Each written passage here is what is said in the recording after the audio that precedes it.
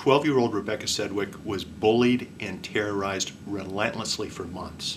When she couldn't take it anymore, she climbed the top of a tall tower and jumped and took her life. There's a big problem right now with bullying, with students in elementary, middle school, and high school being victims of bullies, and it's a problem that needs to stop. I've recently put together a blog post to help you deal with bullies and the problem with bullying in our school system. This is not a touchy, feel good blog post. This isn't a blog post that explores the, the psychological and social uh, reasons behind why people bully other people. It's not a blog post uh, to help victims of bullying to uh, understand and appreciate what's happened and how to cope or deal with that. Those are those are issues that need to be handled someplace else at another time. What this blog post is all about is it's to share with you a lawyer's perspective on how to deal with bullies, how to deal with their parents, how to deal with a school system that doesn't step up and protect your child, and what you can do using our legal system to help protect your child from being bullied. So what I've done in our blog post is I've shared a couple of different tips. The first section has to do with when you first find out that your child is being bullied, uh, what you need to do, who you need to contact, and the best way to communicate with other people, such as a teacher, a principal, a school district, police department, district attorney's office, to immediately stop the bullying from taking place any further.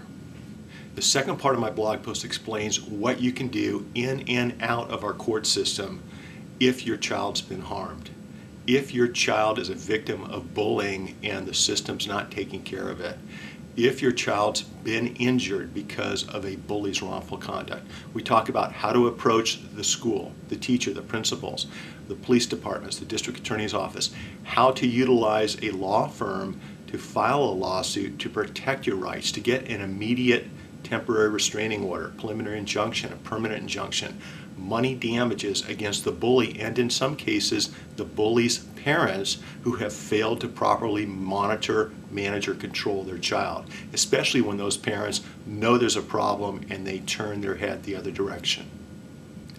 The last part of my blog post shares resources that you can use and utilize to protect your child and to hold the bully accountable. Different code sections, different case law, different legal theories that you or your lawyer may want to use to protect your child and to maximize what damages he or she is entitled to because of injury or other harm caused to your child because of a bully.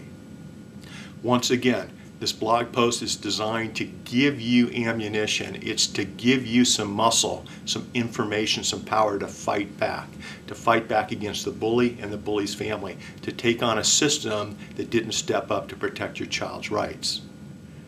I share a couple of legal concepts with you about emotional distress damages, about assault and battery, about stalking, about harassment, about defamation, about invasion of privacy things that apply both to on and offline bullying and things that you can discuss with your lawyer to evaluate what's in your family's best interest uh, when moving forward to protect your child from being bullied or to hold a bully accountable for, for harming your child.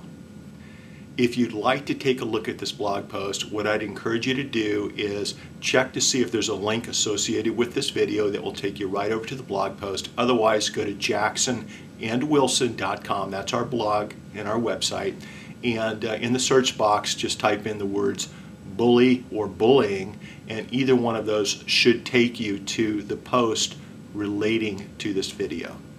My name is Mitch Jackson. I'm a California trial lawyer. I'm also a, a, husband and a father of two children. I have zero tolerance for bullying.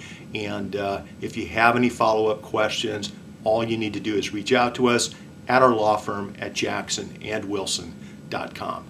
That's it. Be safe, be kind, and remember to always make today your masterpiece.